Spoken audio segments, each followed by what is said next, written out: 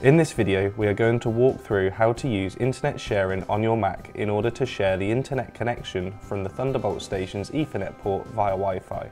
That will essentially make your Mac a router for your other internet connected devices that connect through Wi-Fi. The first thing to do is connect an Ethernet cable to the Ethernet port of the Thunderbolt station. To double check that you have got an internet connection from the Thunderbolt station, go to System Preferences. If it's not in your dock, go to the Apple logo in the top left hand corner and select System Preferences.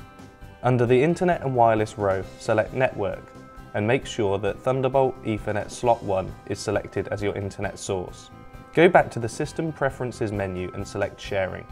On the left hand column highlight Internet Sharing, then on the Share Your Connection From tab make sure that Thunderbolt Ethernet slot 1 is selected. Then in the section called to computers using, you will need to make sure Wi-Fi is selected. This will allow you to connect all your Wi-Fi devices to the Mac's new Wi-Fi internet sharing. The next thing to do is click on the Wi-Fi options button in order to set up the security options for the new network sharing.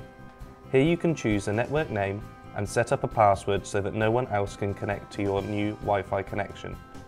After you have set this up, go ahead and click OK.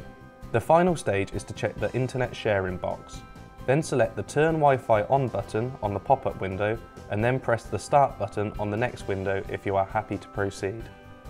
Internet sharing is now set up and ready to go. There will be a new icon in your top menu bar indicating that internet sharing is turned on.